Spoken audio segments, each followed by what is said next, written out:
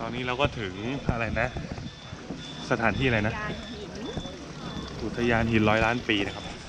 อากาศไม่ดีดูดิ ฝนปล่อยๆตลอด ฮัลโหล สวัสดีค่ะ ตอนนี้ประมาณ 14 องศา ฝนตกทั้งวันเลย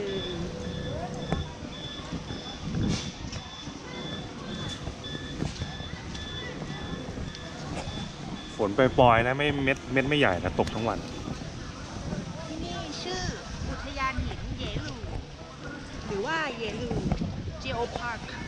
เป็นอุทยานหินร้อยล้านปีนะคะ จะมีหินรูปทรงต่างๆรูปทรงนางฟ้า รูปทรงอะไรที่หลายอย่างที่เราควรจะไปดูนะคะนักท่องเที่ยวมาก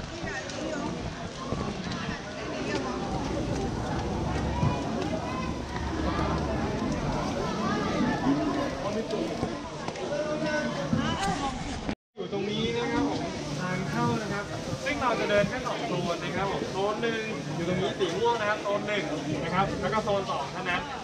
ซึ่งไม่ไปโซนสามแล้วมันค่อนข้างไกลมากเลย แล้วก็ไม่ค่อยมีอะไรด้วยนะครับ ซึ่งหินต่างๆเนี่ยไฮไลท์จุดไฮไลท์บอกจุดไฮไลท์กันเลย อยู่ที่หมายเลข16นะครับ คือหินเสียนพระราชนี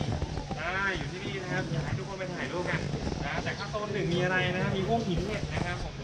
อ่าแค่นี้ก็สวยแล้วนะครับ มาในอุทยานหินเยลูแล้วนะคะ เพราะว่าลมแรงแล้วก็ฝนตก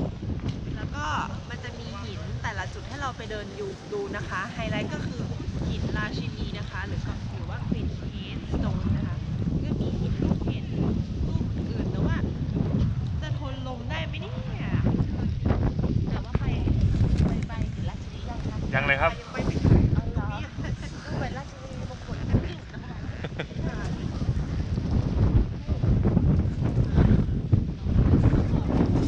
แล้วนะคะทนแรงล มและฝนไม่ไหวแล้ว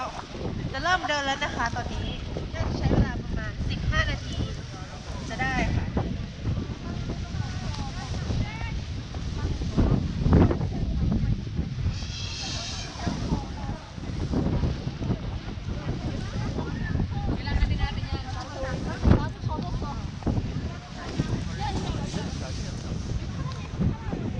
เฮ้ย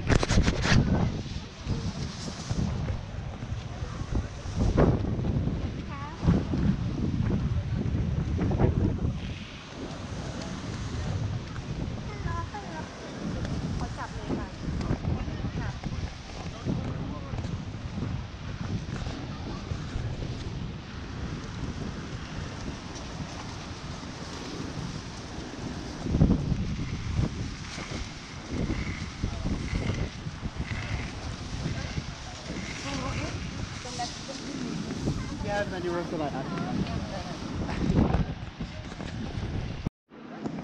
วัน นี้วันที่2ของทริปนะคะ เราอยู่ที่อนุสรณ์สถานเจียงไคเชกหรือว่าเจียงไคเชกมิวเซียม National Museum นะคะท่านเจียงไคเชกเนี่ยก็เป็นประธานาธิบดีนะคะ ที่ปฏิวัติประเทศไต้หวันและนำไต้หวันเนี่ยออกจากจีน แล้วก็แยกตัวเป็นประเทศสาธารณจีนไต้หวันนะตอนนี้นะคะ ที่นี่ก็จะมีความโอโถงยิ่งใหญ่มากดู